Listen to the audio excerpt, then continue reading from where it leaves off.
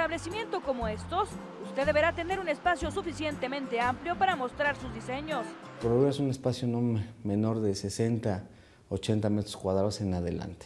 Las ganancias le permitirán fantasear un rato. Mínimo pueden tener una ganancia del 50% o más, hasta algunos productos alcanzan 200, 300%. Ahí le van los secretos. La piñata más vendida es la que se mueve a la moda. No nos esperamos a que salgan las películas, nos anticipamos entre uno o dos meses más o menos. Así de bonitas llevan su tiempo de hacerlas. Se podría decir que entre dos personas uno se podría dedicar a tapar, el otro a armar y ya entre los dos a decorar y pintar. El 90% de las ventas se hace a particulares, el resto a otras tiendas. La mayoría de la gente se lleva dos piñatas. ¿Por qué? Porque este, siempre es una para el colegio y una para el hogar. Sin duda la temporada alta es diciembre, la baja es a principios de año y al inicio del ciclo escolar. En un día regular y ya con varios años establecidos, se pueden vender hasta 80 ejemplares.